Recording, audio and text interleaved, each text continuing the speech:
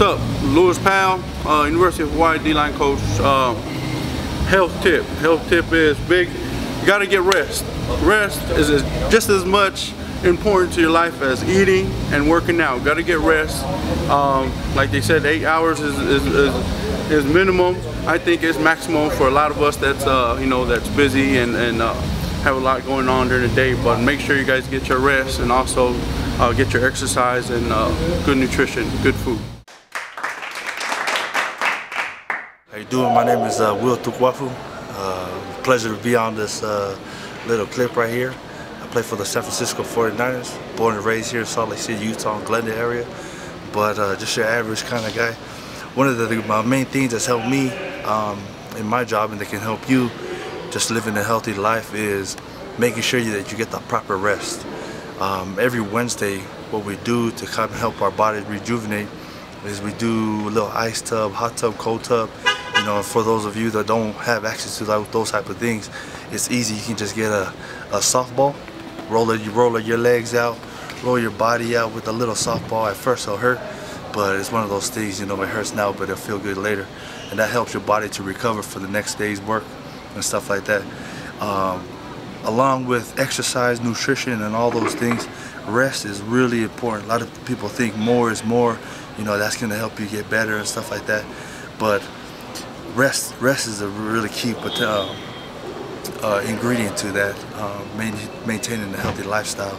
So, you know, my little tip for you guys today is just make sure you get proper rest along with uh, eating the right things and your, your daily exercise.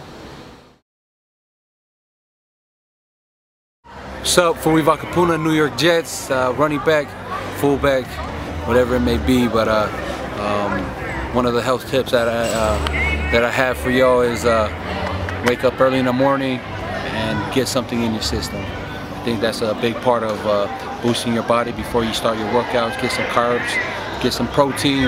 Um, well, I'm, I'm, a vegan, kind of.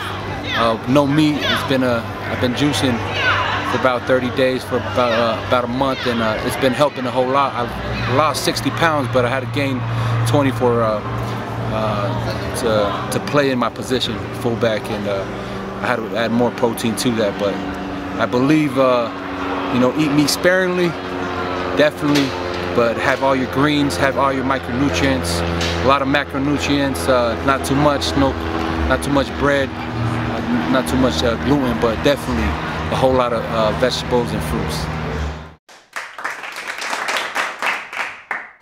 And my best tip, I think, for health, whether it's nutritional, um, to the to the body, I find that helps a lot with me. My concentration is is it's a it's a spiritual, physical fast, and um, being that if for 24 hours or or even skipping two meals uh, or three meals um, can really revitalize a lot of uh, your inner organs and, and stuff like that. That um, since you fast for um, a day or three meals that uh, it really brings good health to you. Uh, it's like a, a restart or uh, a new beginning to the body and sometimes the soul. If uh, those of you are spiritual, um, for a health tip, uh, fasting is, is a great source um, to